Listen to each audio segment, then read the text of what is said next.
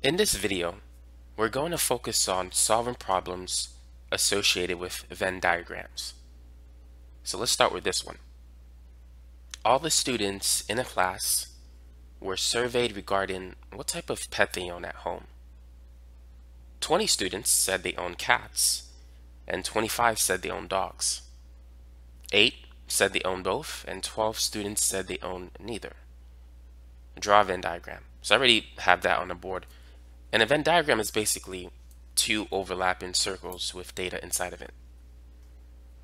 So the first circle we're going to say represent the number of cats, or rather, the number of students who own cats. And for the second circle, this is going to represent the number of students who own dogs.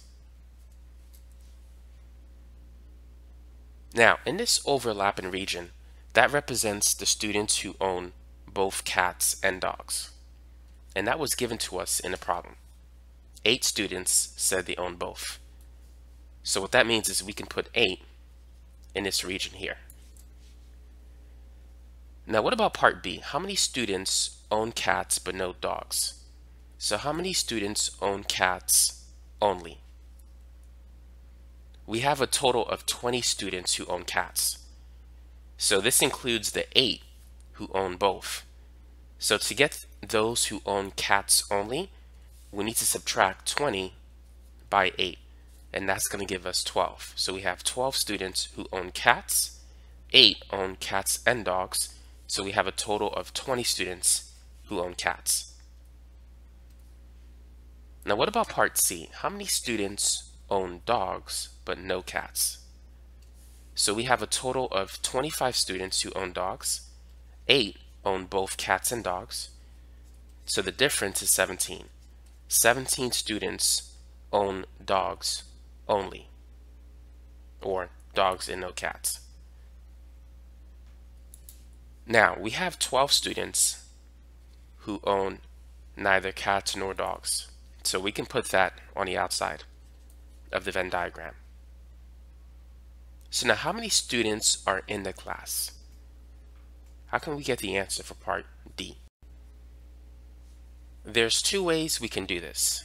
One is when we have the Venn diagram all filled out and completed.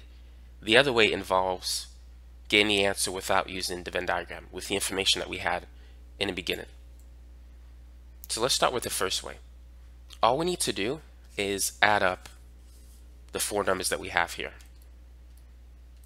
So we have 12 students who own cats only, 17 only own dogs, 8 own both, 12 own neither. 12 plus 17 is 29.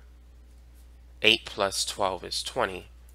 29 plus 20 is 49. So we have a total of 49 students who were surveyed in this class. And since all the students in the class were surveyed, there are 49 students in this class. Now, to do it the second way, without the Venn diagram, using the information that we started with, we're going to add up the number of students who own cats and dogs. So we have 20 students who own cats, 25 own dogs.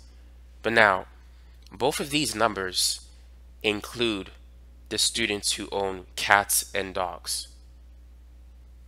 That is, the students who own both. And since we've counted it twice, we need to subtract it once because we only want to include this number once. So since we already included it twice in both these numbers, we're going to subtract this by 8 once so that we've counted this quantity only one time. And then finally, we need to add the number of students who own neither, which is 12. So 20 plus 25 is 45. And then negative 8 plus 12, that's positive 4. And this will give us the same number of 49 students who are in this class. So those are two ways in which you can get the final answer if you have to get the total sum of everyone involved in a survey. Now let's work on a slightly different problem. In this problem, we're given the total number of students in the class we didn't have that information in the last problem. However, in this problem, we don't know how many students are studying neither Spanish or French. In the last problem, we had the number of students who own neither dogs or cats. So that's the difference between these two problems. So go ahead and feel free to pause the video and try this uh, problem. So there are 40 students in a math class. Of these, 16 students are studying Spanish and 19 are studying French. Five students from this class are studying both Spanish and French. Part A, how many students are studying Spanish but not French? So let's put S for Spanish, F for French. Now the first thing I like to do, just like in the last problem, is I like to put the number of students who are studying in both categories, and that's five. So let's put that in the middle. So now how many students are studying Spanish but not French? So we have a total of 16 students who are studying Spanish. Five of them are studying both Spanish and French, so the difference will give us those who are studying only Spanish but not French, and that's going to be 11. Part B, how many students are studying French but not Spanish? So we have a total of 19 who are studying French, 5 are studying both, so only 14 are studying French but not Spanish. Now, how do we find out in Part C how many students in this math class are studying neither French or Spanish? So basically, how can we find the number that belongs outside of the Venn diagram? Now remember how we got our total in the last problem. The total number of students, this is the first method using the Venn diagram, is basically the sum of all of these numbers. So it's the 11 students studying Spanish only, plus the 14 students studying French but not Spanish, the 5 who are studying both, and the number who are studying neither, which is what we're looking for. So that's x. And we have the total. The total is, we got 40 students in the class. So we have 40 is equal to 11 plus 14 plus 5 plus x. So now all we got to do is solve for x. So let's go ahead and combine like terms. 11 plus 14, that's going to be 25. And then 25 plus 5, that's 30. So I'm going to write that here. So we have 40 is equal to 30 plus x. Now we need to subtract both sides by 30.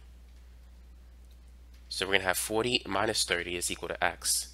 And 40 minus 30 is 10. So we have 10 students who belong here, who are studying neither French nor Spanish. So that's it for this problem. Now let's move on to the third problem. Out of a group of 100 college students, 40 said they own a car, and 25 said they own an SUV. 47 students said they own neither a car or SUV.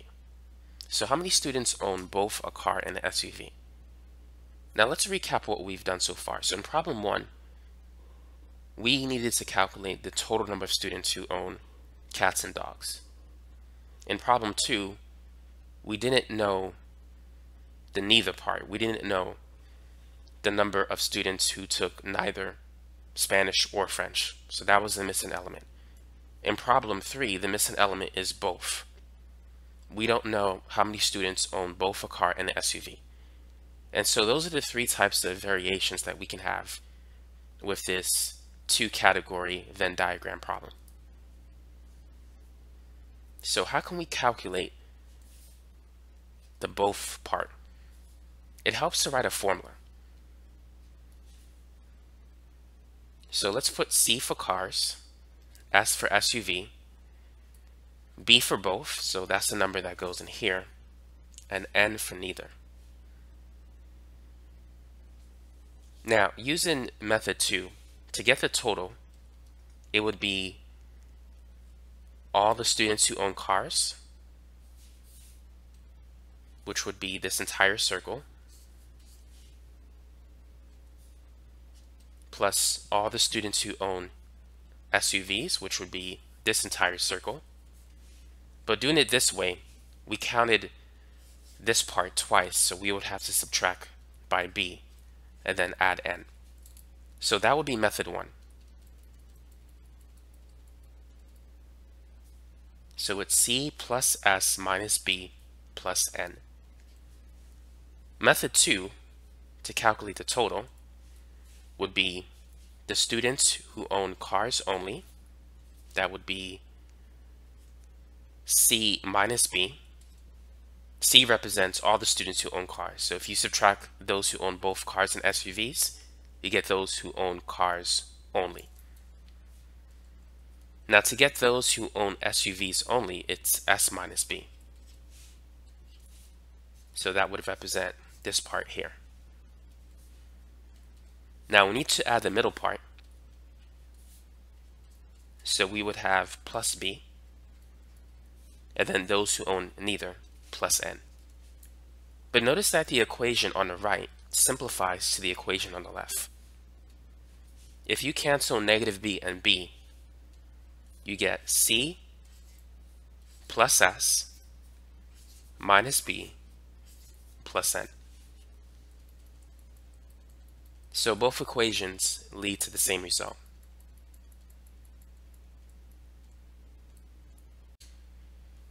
So let's go ahead and use this equation to calculate B. So the total number of students is 100 college students. Now we know that 40 said they own a car. 25 said they own an SUV. Our goal is to calculate B, and 47 said they own neither. So let's put this here. n is 47. So now let's do some algebra. Let's combine like terms. 40 plus 25, that's 65. And 65 plus 45, I mean 65 plus 47 rather, uh, that is 112. So 112 minus what number is 100? B has to be 12. If you want to show your work, subtract both sides by 112. And you're going to get negative 12 is equal to negative b.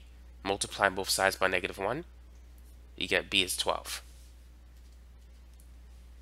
So we have 12 students who own both a car and an SUV. So that's it for part A. Part B, how many students own a car but not an SUV? So this is going to be C minus B. We have 40 students who own a car minus both. That will give us 28 who own a car only. Now part C, how many students own an SUV but not a car? That's going to be S minus B. We have 25 who own an SUV minus the 12 who own both. So only 13 own an SUV only. Now to check your work, all four of these numbers must add up to the total. So if you add 28 plus 12, which is 40, plus 13, that's 53, plus 47, you get 100. And so that's it for this video. So now you know how to solve word problems that is associated with Venn diagrams involving two categories. Thanks for watching.